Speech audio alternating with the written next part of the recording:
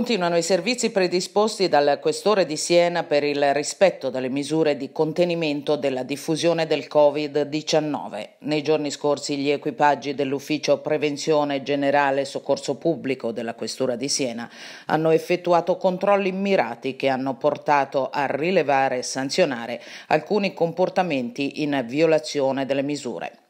Martedì pomeriggio nei giardini della Lizza sono state individuate tre persone di nazionalità pakistana, tutti dimoranti in comuni della provincia di Siena, che in dispregio alla normativa anti-Covid stavano stazionando nei giardini senza alcuna giustificazione.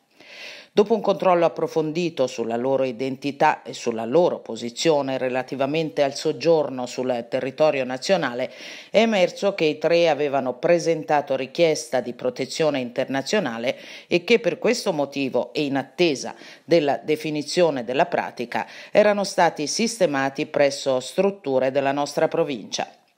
Nei loro confronti è stata disposta la relativa sanzione. Dopo essere stati identificati, tre sono stati fatti rientrare nei loro domicili.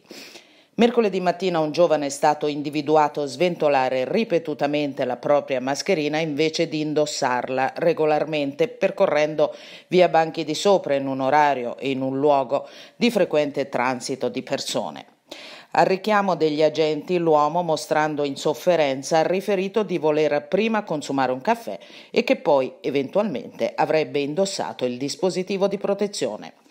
Infastidito dal controllo, ha compilato in modo illeggibile davanti agli agenti un'autocertificazione fornitagli dagli stessi agenti.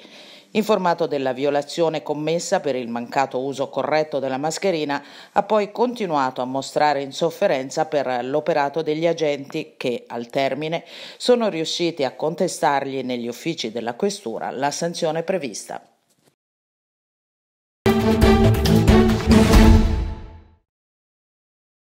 Per il ciclo di conferenze medicina oggi il professor Rino Rappuoli parlerà di vaccini monoclonali per liberarci dal Covid-19 il 23 novembre alle ore 18.15 in una diretta streaming su piattaforma Zoom organizzata dall'Accademia dei Fisiocritici di cui il microbiologo di fama mondiale è socio dal 1996. Il professor Rappuoli, direttore scientifico di GSK Vaccines e coordinatore del progetto di ricerca sugli anticorpi monoclonali contro il coronavirus presso Toscana Life Science, spiegherà lo stato dell'arte della vaccinologia, quale strategie sono state utilizzate per sviluppare vaccini contro Covid-19 e quali avanzamenti per la scienza dei vaccini ci possiamo aspettare dall'esperienza in corso. La professoressa Lucia Ciccoli, sovrintendente all'editoria dei fisiocritici, introdurrà la conferenza e coordinerà le domande che attraverso la chat di Zoom potranno essere rivolte allo scienziato recentemente nominato docente presso il Dipartimento di Eccellenza di Biotecnologie, Chimica e Farmacia dell'Università di Siena.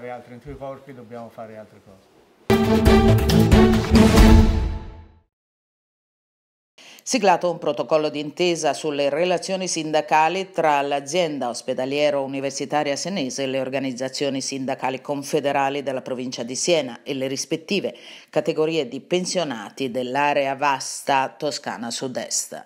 In particolare si tratta di un accordo che conferma la validità complessiva del modello della sanità toscana e rileva la necessità di potenziare e valorizzare il servizio sanitario nazionale e la programmazione dei servizi servizi per la salute ai vari livelli di competenza, garantendo la giusta destinazione dei ruoli e dei compiti tra i soggetti preposti alla programmazione rispetto ai soggetti attuatori.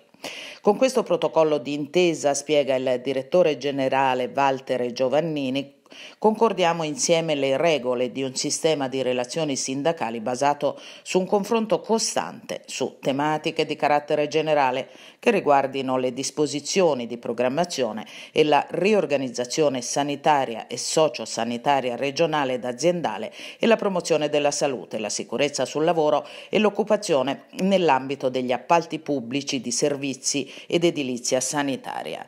Il sistema delle relazioni sindacali prosegue giovanile Vannini ha anche l'obiettivo di contribuire al miglioramento delle condizioni di lavoro e alla crescita professionale dei dipendenti con l'esigenza dell'azienda di potenziare e mantenere elevata l'efficacia e l'efficienza dei servizi ai cittadini. Il sistema rappresenta uno strumento fondamentale per costruire relazioni sindacali stabili, improntate sulla partecipazione consapevole e sul dialogo costruttivo e trasparente. Gli incontri avverranno con cadenza trimestrale per la verifica e il monitoraggio delle decisioni assunte nei vari confronti effettuati e i sindacati potranno richiedere incontri specifici su temi particolari al di fuori di quelli programmati.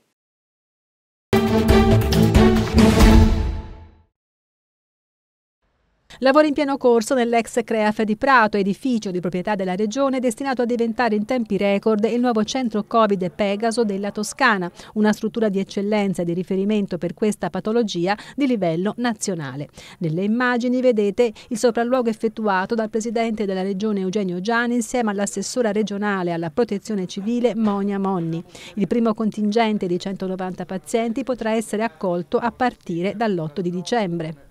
Io ne ho parlato con il presidente dell'Istituto Superiore di Sanità, Brusaferro, ne ho parlato con il commissario Arcuri, sicuramente qualcuno di loro, eh, uno di loro sarà qua, inviteremo anche il ministro Speranza perché questo diventa il primo centro italiano dedicato alla cura, all'analisi, probabilmente alla raccolta in una banca del sangue e del plasma eh, di ciò che è la specificità Covid.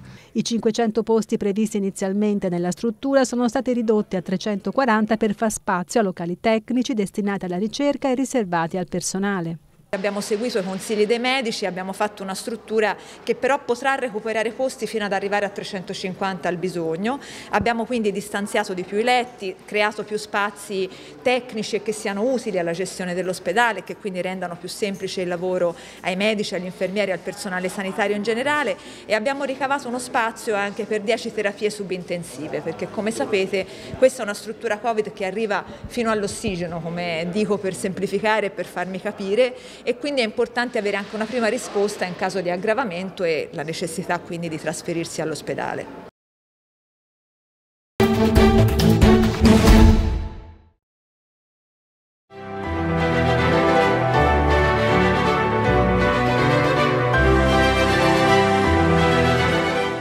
Buona serata e bentrovati. La perturbazione che ci ha interessato nella giornata di ieri tende già rapidamente ad allontanarsi. Avremo quindi un eh, deciso miglioramento del tempo. Lo vediamo dalla grafica, per eh, la giornata di domani sabato abbiamo già indicato un cielo sereno o poco nuvoloso con residua nuvolosità sulle zone più eh, meridionali, ancora però saranno presenti forti venti di grecale che manterranno le temperature piuttosto basse con valori che non supereranno i 10-12 gradi nel eh, pomeriggio. La giornata di domenica invece vedrà il calo del vento, avremo quindi eh, immersione termica con le temperature della mattina molto basse con gelate sulle zone interne, mentre quelle del pomeriggio in gradevole eh, aumento fino a 15-16 gradi. Per oggi è tutto, vi ringrazio per l'ascolto, augurandovi una buona serata.